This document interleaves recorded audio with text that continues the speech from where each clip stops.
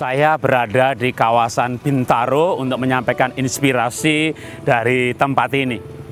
Inspirasi kali ini saya ambil dari bukunya Ellen Kennedy and More yang menulis buku berjudul Smart Parenting for Smart Kid. Nah, kita hidup di zaman digital di mana banyak ada terjadi gap generasi antara orang tua dan anak.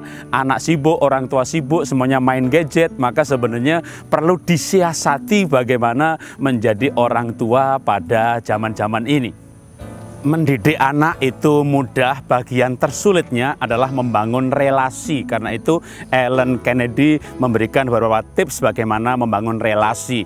Tips yang pertama, jangan marah-marah, jangan berteriak-teriak karena itu tidak mengangkat wibawa Anda. Sebaliknya justru akan menurunkan wibawa Anda sebagai orang tua.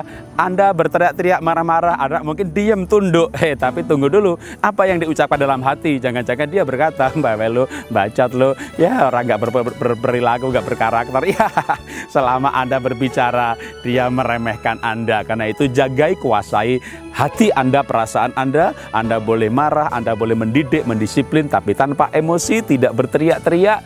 Cukup sebutkan saja apa kesalahan yang dia lakukan. Dan bukan memberi label pada dirinya jangan memberi label. Jadi katakan aja kamu anak baik nggak boleh nakal, kamu anak pinter harus belajar. Wah kamu ini anak soleh harus baik menolong suka menolong teman. Nah itu itu namanya memberi nasihat mendidik. Tapi jangan bilang anak kurang ajar, anak buandel, anak bodoh. Ini akan merusak relasi anda dengan anak anda. Ketika relasi rusak, hubungan nggak ada, maka nasihat yang bagus pun suatu saat anda punya nasihat bagus, anak tidak akan mendengarkannya bangun relasi yang lekat dengan karena di situlah sebenarnya esensi hubungan orang tua anak yang menjadi fondasi di dalam mendidik anak. Tips berikutnya, jangan menjadi orang tua yang emosional. Kalau Anda emosional, anak juga emosional. Anda teriak-teriak sama anak, lihat aja nanti dia teriak-teriak sama bantu, teriak-teriak sama adiknya. Kenapa? Karena sebenarnya simple. Anak itu bukan mengikuti yang kita ajarkan, tapi dia menirukan yang kita lakukan. Perbuatan itu lebih hebat dari kata-kata keteladanan itu lebih berwibawa dan berdampak daripada nasihat. Nasihat itu perlu, tapi ketika disertai dengan keteladanan, wow, Anda bisa melihat pengaruhnya luar biasa. Waktu saya berumur waktu itu 50-an tahun, saya ngambil kuliah S2 dan sekarang kami ngambil kuliah S3, saya dan istri saya kita rajin belajar, kita kuliah, kita bikin tugas, kita pengen jadi yang terbaik di kelas. Nah, itu dengan mudahnya kita bisa menasihati anak-anak untuk melakukan hal yang sama supaya belajar, melakukan yang terbaik, untuk rajin, untuk bikin tugas. Kenapa? Mereka melihat keteladanan. Tips terakhirnya adalah bangun relasi yang intim dengan anak. Nah, dengan cara apa? Berinteraksi sebanyak mungkin dalam kegiatan yang menyenangkan. Tergantung usia anak gitu ya. Apa ke mall, apa hiking, apa trekking, apa renang, apa naik sepedaan bareng.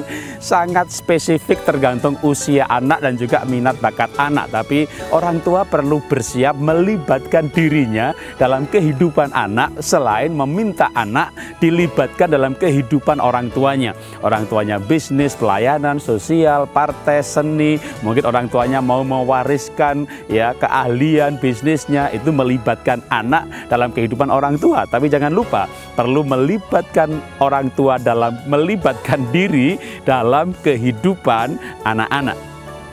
Terakhir adalah perbanyak interaksi dengan anak dalam acara yang menyenangkan seperti kuliner, liburan, pokoknya perbanyak quality time bersama keluarga karena keintiman relasi hubungan orang tua anak, sebuah relasi itu tidak bisa dikarbit. Itu seberapa banyak kita melakukan interaksi dalam waktu yang cukup dan berkualitas. Karena itu berikan komitmen waktu untuk bersama keluarga sebagai prioritas yang utama. Inilah inspirasi yang saya sampaikan dari Bintaro. Salam dahsyat, luar biasa.